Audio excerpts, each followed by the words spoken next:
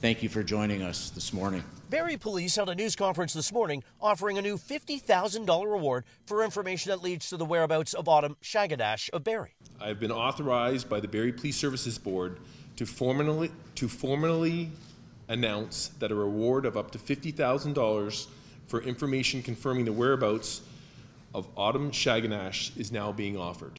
Shaganash was captured on video surveillance leaving a family member's home on June 9th near Burton Avenue and Franks Way in Barrie at around 11 p.m.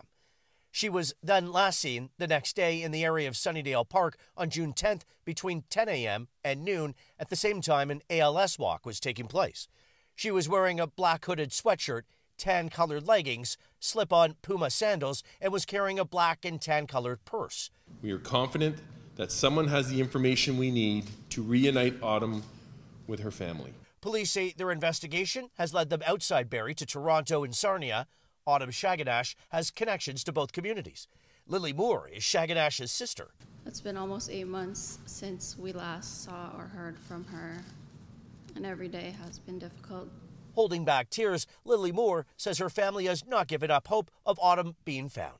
I hope that this reward that is being offered will help in finding her and bringing her home. Sergeant Brett Carlton is with the Major Crimes Unit with Barrie Police and is overseeing the investigation. Investigators are confident that there is someone out there with information with regards to Autumn's disappearance. No detail is too small.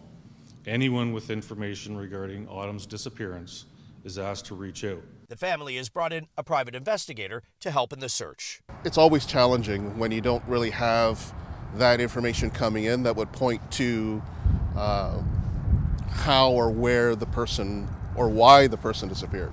Now, police are hoping the reward gets people talking and they believe someone knows something. Anyone with any information on Autumn's whereabouts is asked to contact police directly. Rob Cooper, CTV News, Barrie.